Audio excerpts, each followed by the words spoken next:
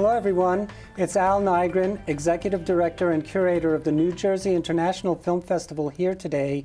We have a wonderful filmmaker interview series, and we have a very special guest who I'll introduce to you in a second. But I wanted to mention to you that the International Film Festival will be taking place on June 1st, June 2nd, June 7th, 8th, and 9th.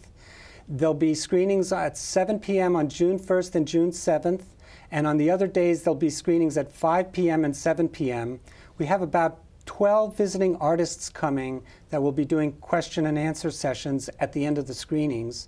And we have a wonderful program lined up for you. We have 20 films that were selected from close to 500 entries from around the world. That means 4% of the films that uh, we received will be screening, so the creme de la creme.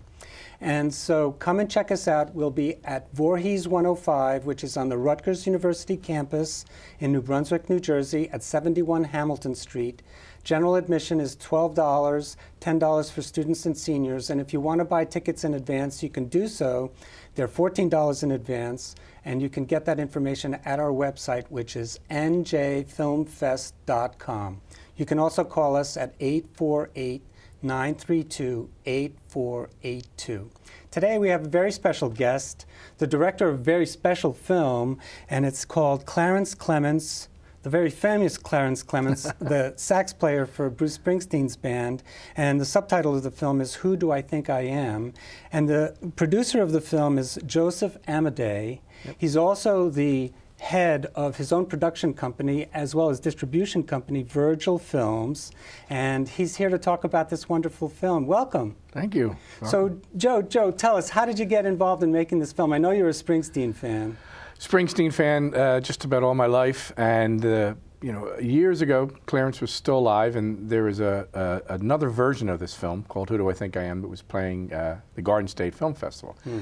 And I saw that Clarence was going to do a Q&A, and I saw that the director was going to be there, and uh, I had my distributor hat on at the time, and I drove down to Asbury Park, ended up meeting that night with uh, Nick Mead, the director of the film, and Clarence Clemons, and that film ran somewhere around 45, 50 minutes, mm -hmm. and I asked both of them, do you have more footage to turn this into a 90-minute feature-length film? And they said, yeah, we have 50 to 100 hours. Wow. And bam, light bulb went off. So I said, why don't we turn this into a feature-length film and, and, and try to get it out? And uh, we did. We, we signed some contracts, did all the legal paperwork, and then five weeks in, Clarence passed away. And the, you know, so what do we do? We, you know, we had to change, totally change directions on where the film, you know, was going to end up being. And, and we felt, let's, let's make a tribute to Clarence, almost like a love letter. Mm. Not, not a straight, you know, documentary, you know, he was born here, even though all of that's in it. But, you know, let's dwell a little bit more on Clarence's spiritual side because that was such a big part of them. Nick Mead, the director, had already made this beautiful film um, that really dealt with a, a, trip to China that Nick and Clarence had made, right. where Clarence kind of finds his own spiritual calling. Mm. And that was a beautifully made, beautifully shot film. And so we used that as our base and then built Nick and I built around that. Um, like most documentaries, things get in the way while you're making them, and a lot of things got in the way. Um, but we finally finished it this year, and uh, I'm very, very proud of it, and really proud of the work that Nick, that Nick has done. Yeah, and I think you can see the film, which obviously all the interviews that you see in the film were added to this yes. version. Yes. And I, I guess when I watched the film, I liked very much the way that you decided to shoot them in black and white. I mean, almost all yes. the interviews are in black and white, and the, the idea of race is a very important subject that occurs at the very beginning of the film and that uh, is an emphasis. Was that something that you consciously did? It was something that Nick consciously did, and um, and I was against. I uh, I always think about selling films, and black and white, as much as I love black and white mm. on a personal level, mm. is almost a kiss of death. so when he told me he wanted to do the interviews in black and white, I said, "You're crazy." And I that's why I'm a producer and he's a director. Yeah, and I think he was right. But I absolutely agree with Nick. Sorry, Joe. But no, no, you, you know, right. and I I like the way that you use the radio dial as the way to transition from the interview, where you go from a kind of monochrome to color yeah. for the archival stuff. And once again, that's Nick. yeah. And well, Nick was obviously also a feature filmmaker. Nick has made a couple films. He met Clarence um, on a film called Swing that he that he directed some years ago, and um, they became best friends.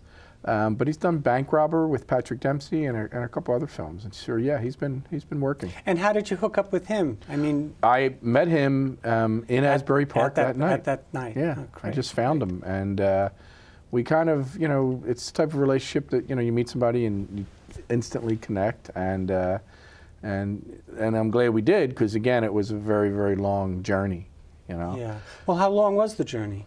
Uh, started when Clarence Four was years ago? alive, so that's five six years ago. Wow.